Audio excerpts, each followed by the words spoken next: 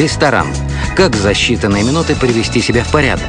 Советы стилиста Елены Лонской.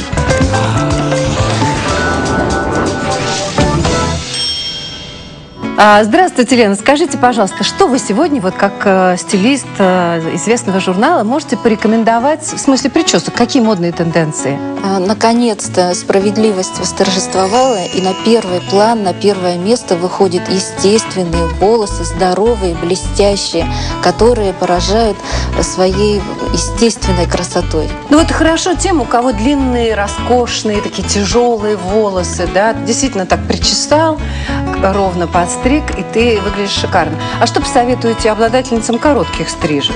Но я соглашусь с вами, Татьяна, что длинные волосы э, женщину украшают э, безумно.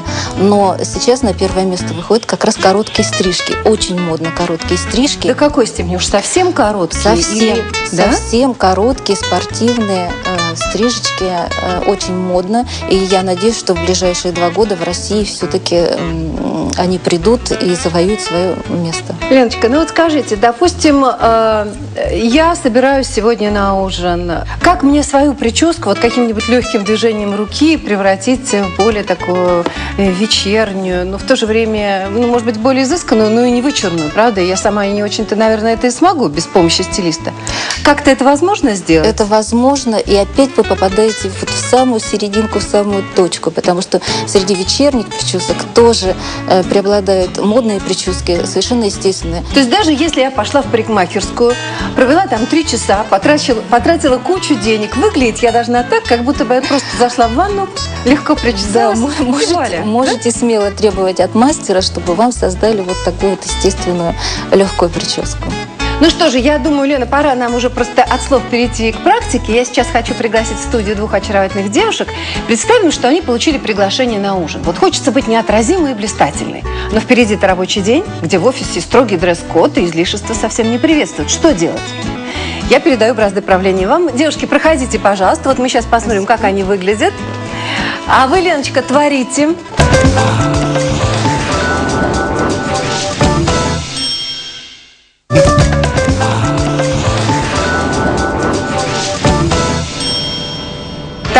ну что же, Лена Ланская уже тут девушек преобразила, я смотрю, да? Да, осталось последний вот штрих. Я Какие красавицы. шпильку закрепляю.